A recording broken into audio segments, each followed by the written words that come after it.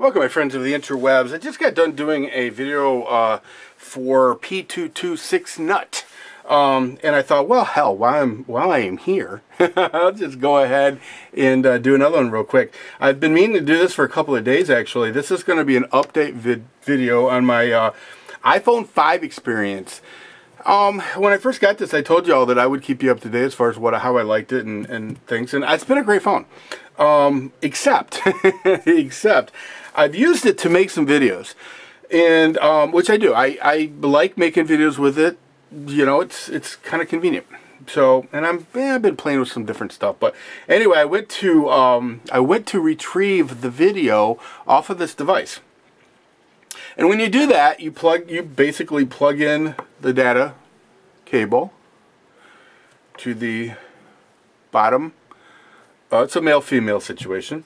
Um, and then you, of course, put this into your computer. That's right. Pretty simple, pretty straightforward. Something we've all done a million times. Um, and then, you know, of course, your computer will recognize it as a storage device. And then you can transfer the files from that storage device over to your PC. And you can then upload them to YouTube or do whatever you want to do with them. So, the other day, I had a bunch of videos on this, and I uploaded, or tried to, attempted to. Uh, I, I, I plugged this into my computer, uh, my, my desktop, and I went to uh, upload. Well, it didn't recognize this as a uh, as a device. It didn't recognize it as anything. In fact, it was like what was like I didn't plug anything in. Um, I did get the beep, and it was charging the phone. Okay, because you can actually charge. Oops, you can actually charge your iPhone uh, through your uh, USB. Uh, so I knew, you know, I well at least I thought that well the USB's working. You know, the, so I thought, well, you know, maybe it's uh, maybe I did something. So I unplugged it and went over to my lap, one of my laptops. I've got a couple laptops, and I plugged it into uh, my laptop. Same thing. It beeped. Uh, it was charging the phone, but it wasn't recognizing the device at all. So, okay, then I realized that, you know, I, it wasn't my computers because, you know, actually I did this three different computers. Wasn't the computers. And I didn't think it was the cable because it was charging the device. So then I thought, shit, I got a freaking problem with the phone. And I mean, you know, I assumed it was something that I had done, you know, something. So off to the, uh, you know, off to uh, AT&T. So I go into AT&T and I say, look, you know, I got a problem. I did not take my cable with me, though. I said, look, I got a problem. I said, uh, I can't retrieve the videos off of this phone via the cable. I said, something's wrong. And I told him a story that basically I've just told you. So the guy takes my phone and he looks at it and he goes, okay. He goes, uh, let me see. And he, he pulls his own cable out.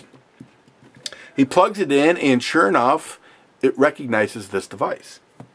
And he showed me right on the screen. He goes, see, it's, it's showing that the device is connected. I said, oh boy. He goes, well, he goes, the good news is it's not your phone. The bad news is it's your cable and you just said you didn't have it with you.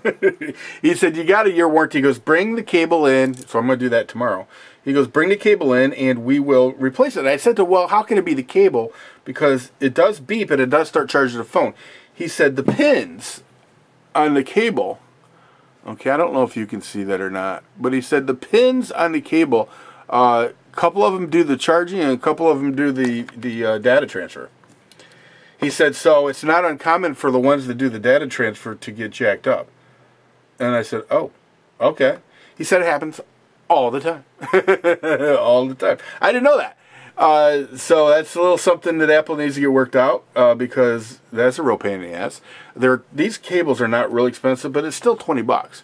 Um, now, you know, you get a new one for a year, but I mean, this phone is not that old. So is this one of those things where if you're going to be doing a lot of data transferring, you're going to have to buy, you know, two or three cables a year? Or four cables a year? I don't know. Let me know if you've uh, used uh, uh, your iPhone. Now, this is the iPhone 5, so you get the smaller um, thing on it. Let me know how much, if you've had any issues with your data cables, with your Apple products. This is the first Apple product that I've ever had, so I mean, I don't know. Um, I don't have a lot of experience with using phones to do video. I did, I think, maybe one or two videos for my Droid. Um, the whole time I've I've used it, I've done a lot of videos with this. So just yeah, let me know what you guys think about that. So anyway, that's a little update. Um, it's interesting because I didn't really expect that I would have anything negative to say about the iPhone 5, other than things I've already said. Like I'm really not a big fan of the fact that it only records audio in in uh, mono. That kind of blows. Outside of that, though, I don't really have any major bitches about this phone. It's been a really good phone. Everything on it works the way it's supposed to work, except for that. Anyway, that's all I got for you guys. Everybody take care. See ya!